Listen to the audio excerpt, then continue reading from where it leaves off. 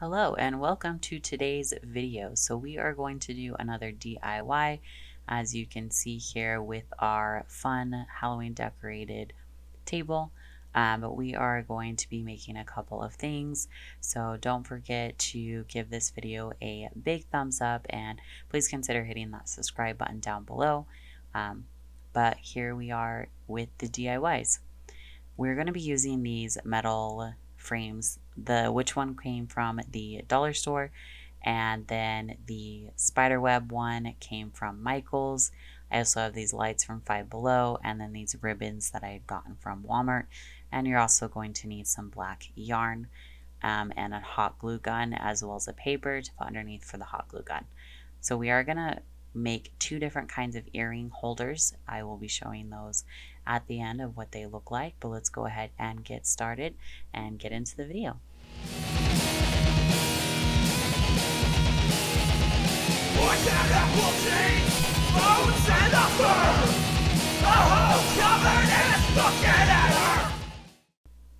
Okay, so the first thing that we're going to use is the spiderweb wreath. If you guys remember my past vlogs, it took me forever to find this thing, but this is the DIY that I was referring to.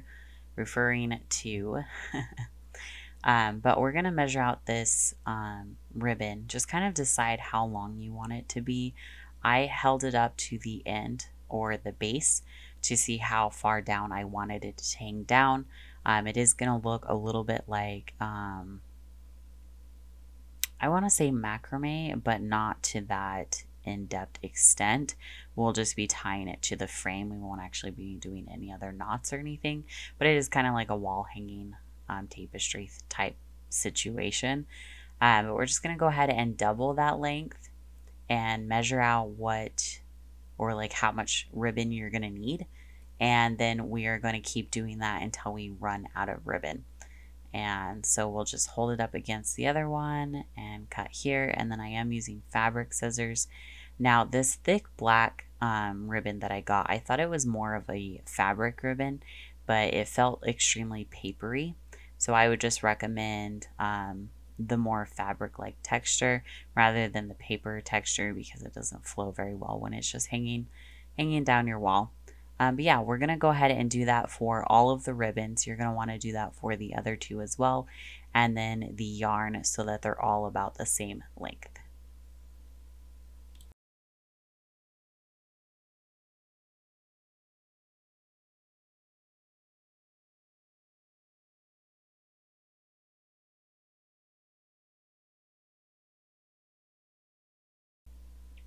Okay, so um, once you have those all done, um, it looks like on the thin thread, I was only able to get a couple of pieces.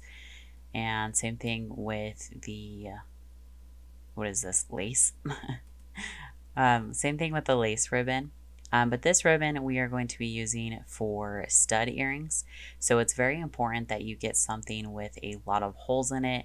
That's why I chose to do the lace. And this just gives you a place to hold different kinds of earrings. So it's going to have the dangly ones and then the stud earrings, which will go onto this lace. And then you will be able to stick them through the holes of the lace that's already there. Um, what we're going to do is going to go ahead and attach it to the base. You have two options. You can string it through like this and tie a knot. Um, or my preferred method is fold it in half so that you create a loop and then just make sure that the halves are even all the way to the end. And then you're going to take that top loop, loop and put it underneath the base and then pull the thread through it and then you're just going to tighten that as much as you can. And for me, I personally think this is easier. It lays flatter.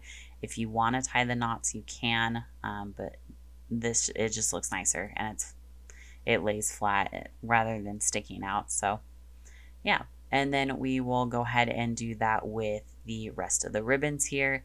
Now again, since I only had a couple of the lace pieces, I decided to put one on each side just to keep it more even and then I will do the same thing on the other ones. I just try to keep it even as even as possible.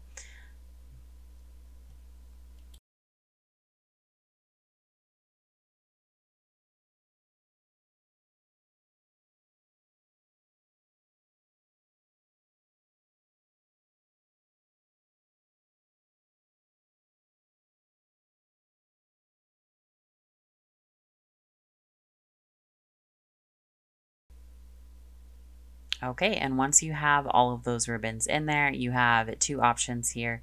You can either leave it as is with just the ribbons. I felt like it was a little bit sparse, especially with how large the spider web um, circle is. So this is where I put in that black yarn and I just got a very thick yarn. So I didn't have to put in as many and then I measured the same length and then I folded that in half to make sure that they were the same length when I tied it onto the frame as the ribbons. And then I cut out about 10 pieces of this so I could put five in each section. And um, that just helped fill in some of the space so that it looked a bit fuller, fuller, fuller. it looked just, it just looked better overall and more complete. Okay, and once you have those all cut up, you just do the exact same thing. Fold them in half to create a loop, stick it through, and then pull through the two strings on the other side.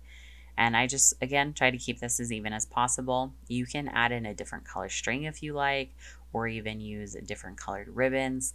I just preferred the black because it matched um, my aesthetic a little bit better, especially with Halloween right now, and the black spiderweb wreath um, just so it's all the same color. So that is it. It's actually really simple DIY. And once you've gotten that all put together, then it's complete and you can just go ahead and hang that up.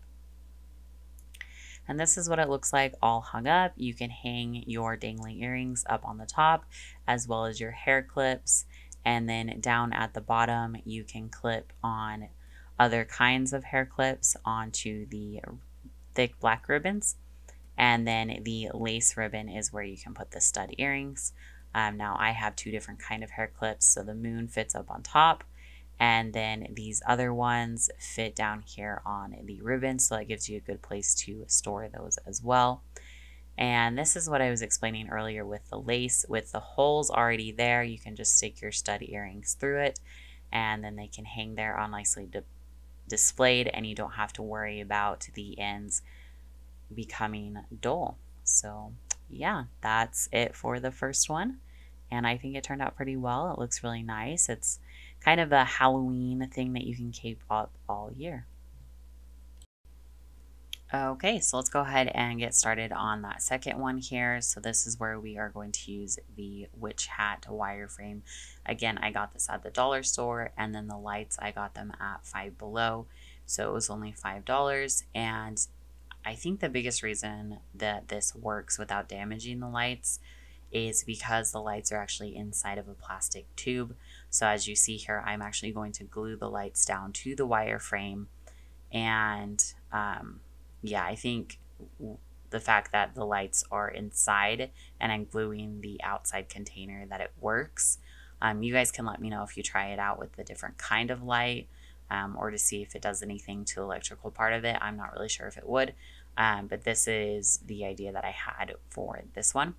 Um, so what we're going to do is we're going to go ahead and push down the, push down, oh my goodness, words escape me today. So we're going to put down the hot glue and just gently lay the light tubing across the top. And we're only going to do this around the outer edge or the outer border. Now, it is completely up to you on how you would like to decorate the witch's hat. This is just a way that I thought would be a lot of fun. And it doesn't even have to be an earring holder, it can just be something that you hang up on your wall as well. Just for a kind of a neon light situation, is what I was, what the inspiration was. So just go ahead and do that all the way around.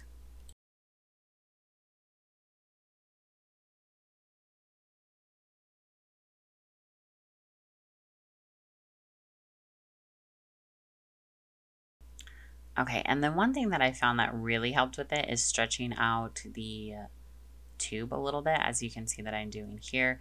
This just helps it go a longer way. And then the size, I think, is three feet, so that was enough to go all the way around the hat. Um, yeah, and then with the tubing, it actually bent really well around the corners, and I didn't have too much of a problem with that. But as you can see, I'm just going around the ed outer edge if it's something that you want to use just for the light, then you can definitely use different kind of lights in the center. Now here I'm going to hot glue the battery pack onto the frame just so that you can hang it up without it getting in the way. Now, originally I did a really silly thing and I glued it to the right hand side, which was really dumb. I don't even know why I didn't think about basic physics with this one, but it actually would pull the weight all the way over to that one side. So I had to re-glue it in the center. So just make sure that's something that you consider when you are making yours and don't make the same mistake that I did. Okay, and then when you've got that glued on there, I just waited a few minutes to make sure that it was set in there. It didn't really have a problem with the weight uh, at all, so if you're worried about weight on it, it held the battery pack just fine. Um, but yeah, here is the end result. You can, this one is mainly just for the dangling earrings, but I think it looks really, really cool. If you want to put something across the bottom to cover the battery pack, you're more than welcome to. Um, yeah, it's just personal preference.